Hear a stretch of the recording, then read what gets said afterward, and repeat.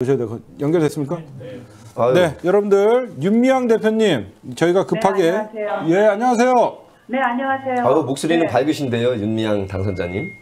아, 감사, 감사합니다. 저는 TBS. 진행 때 뵀던 개그맨 노정열입니다.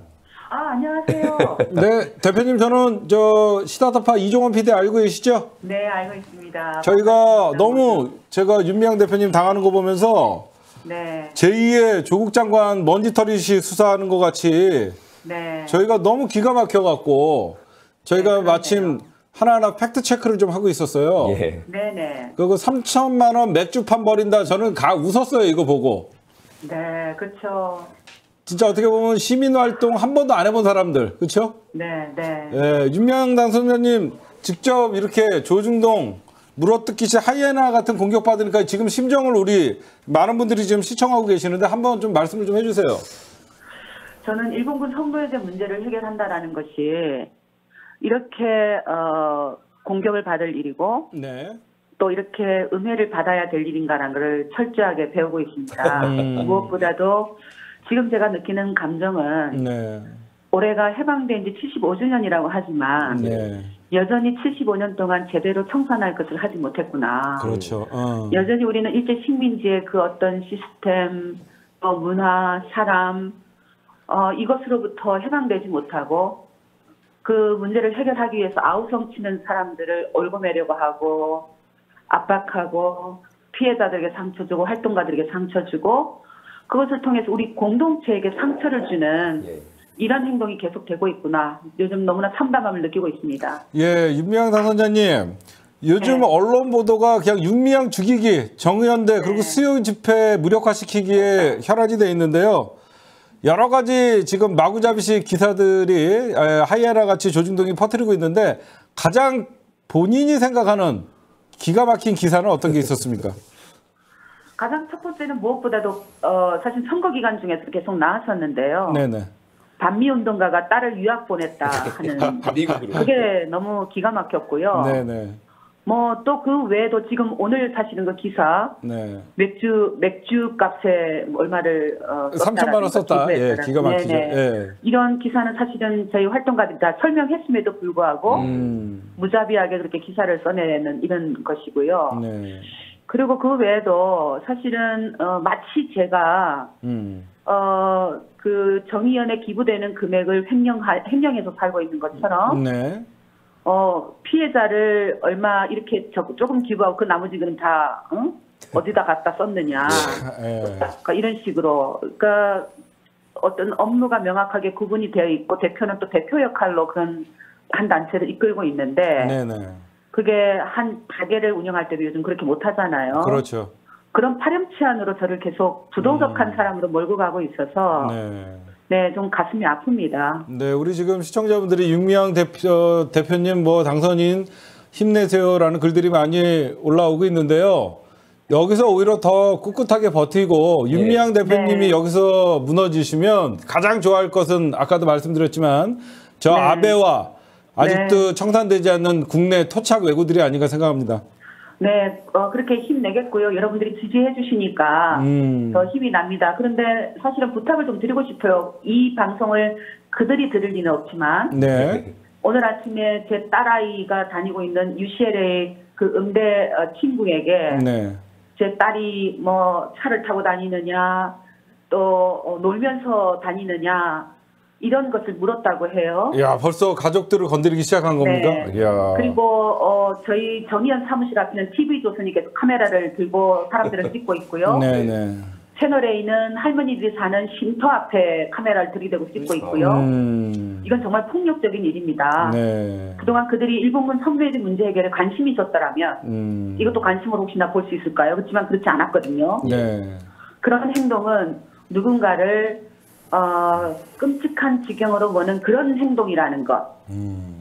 중단해 주시기를 촉구합니다. 예. 네, 참 아주 과거에 우리가 많이 봤던 패턴이에요, 그렇죠?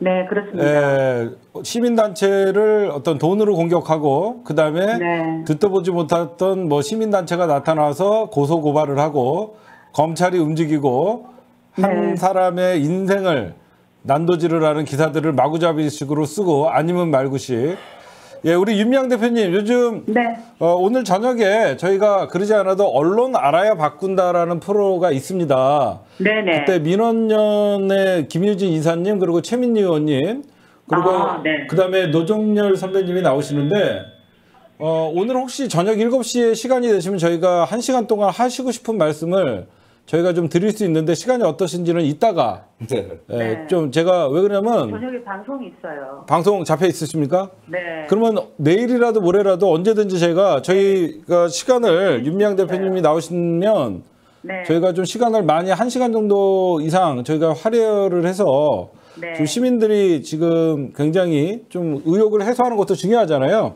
네, 그래서 저희 그렇습니다. 예, 그래서 어 그거는 차후에 저희가 논의를 해서 윤미향 대표님과 또 관계자분들이 나오실 분들이 있으면 같이 깔끔하게 저희가 해소를 하고 네. 그리고 저 조중동과 저희 어떤 잘못된 보도 형태에 대해서 저희가 잘 비판해야 된다고 생각합니다. 힘내시고요. 네, 고맙습니다. 윤미향 당선자님 네. 이제 다음 달이면 윤미향 의원님으로 불러드릴 텐데 지난 가을 그렇게 나라를 벌집 쑤시듯이 쑤셨던 조중동에 대해서 이번에 총선 국면에서 국민들이 깨어있는 시민들이 되셔서 화- 현명한 판단을 해주셨어요. 네. 그래서 네. 우리 윤미향 당선자님 그렇습니다. 절대 흔들리지 마시고 네. 우리 국민들이 학습되고 단련이 돼 있으니까 이번에는 지켜낼 네, 겁니다. 네. 걱정하지 네, 마시고 고맙습니다. 예 끝까지 응원합니다. 이럴수록 네, 국회가 고맙습니다. 더더큰 일을 하셔야 돼요. 네, 알겠습니다. 네, 힘내시고요. 네, 알겠습니다. 네. 네. 아이고 그래도 목소리가 힘이 있으셔서 네, 왜 좋습니다. 그러냐면 네. 30년 동안 이 토착 외고들한테 얼마나 공격을 받았겠습니까? 내공이 쌓이신 것 같아요. 음. 일반 사람들이 어, 공격당하면 굉장히 딸까지 건드리면 당황하거든요.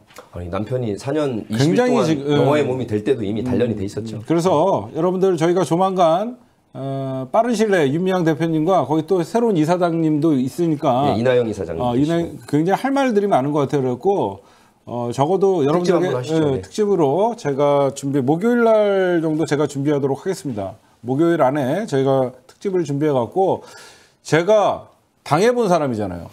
시민단체 개국본 보이시피싱 피해자를 마치 공금 막 이거 그런 걸 보면서 아, 이 새끼들 진짜 나쁜 새끼들이구나 생각해서 남일 같지가 않아요. 예.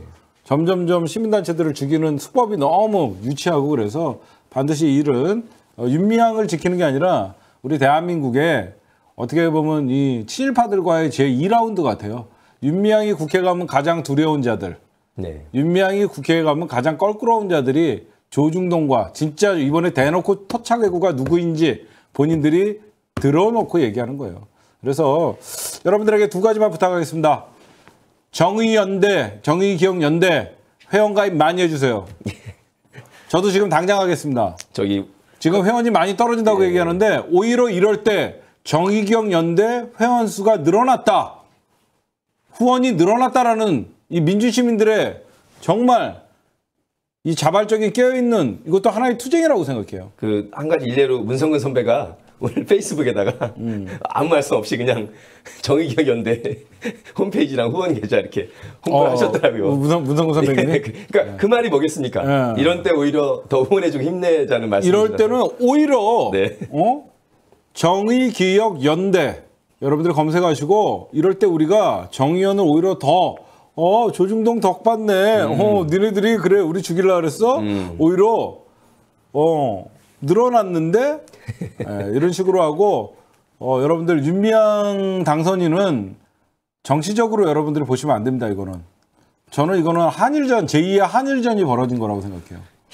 윤미향을 죽여야만 하는 자들 그래야만 하는 대한민국의 토착 외구들과의 싸움이니까 여러분들 꼭 잊지 마시고 우리 힘내시기 바랍니다. 저희가 조만간 더 팩트 체크 그리고 어, 정의기억 연대의 예, 전 이사장이었던 윤미향 대표님 그리고 관계자분들 모셔갖고 저희가 더 자세하게 예, 방송을 좀 해드리겠습니다. 예. 그러니까 마지막으로 여러분들의 말씀드릴 것 드리고 싶은 건요. 조중동이 언제부터 이렇게 일본군 성노예자 피해자 문제에 관심을 가졌나? 아, 30년 전에는 왜 이용수 할머니의 그 어, 절규를 그때는 왜 외면했나? 이제 당신들이 원하는 것은 일본군 성노예자 피해자들의 진실이 아닌 정의기억연대에 없애는 게 목적이 아닌가? 굉장히 기획적이다. 그래서 니들은 토착 외구다. 예, 이런 말씀을 드리고 싶습니다.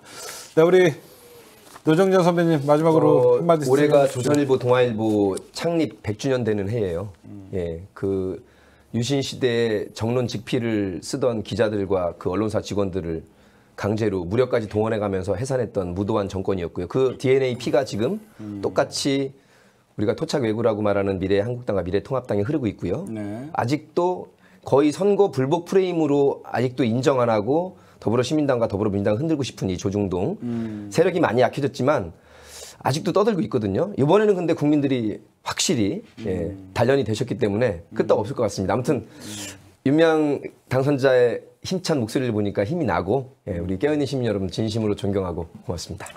네, 지금까지 윤미향 대표님의 의문 또 아, 자세하게 내용을 몰랐던 분들 제가 좀 음모론을 제기했어요. 왜 이재용 기자회견 날 나왔나? 여러 가지 여러분들 그리고 문재인 대통령이 한일 위안부 협정 파기에 영향을 주려는 거 아니냐?